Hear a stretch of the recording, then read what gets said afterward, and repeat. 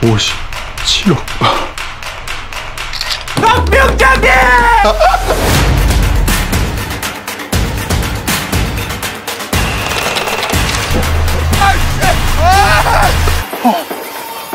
그 로또가 북으로 날아갔는데 사흘 만에 만났구만 길에 그 류육사후 종이 쪼가리를 주었는데 말이디 네가 현금을 가져오면 내 10%를 주겠어 그건 말이 안 되잖아요. 그 내 건데. 이 종이 쪼가리 주인이 어디 있네 먼저 출연을 뭉쳐디 57억 로또가 북에 있다 이거지.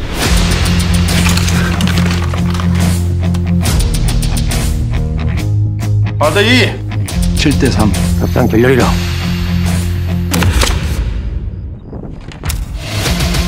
이건 뭡니까? 깔끔하게 어때요? 북쪽은 로또를 내놓고 남측은 돈을 찾아온다. 그 찾아온 돈을 북쪽에 다시 전달할 때까지 남과 북은 병사를 한 명씩 막 교환한다.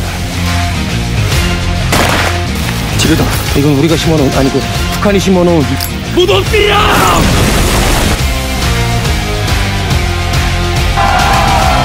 돈은 찾았답니까?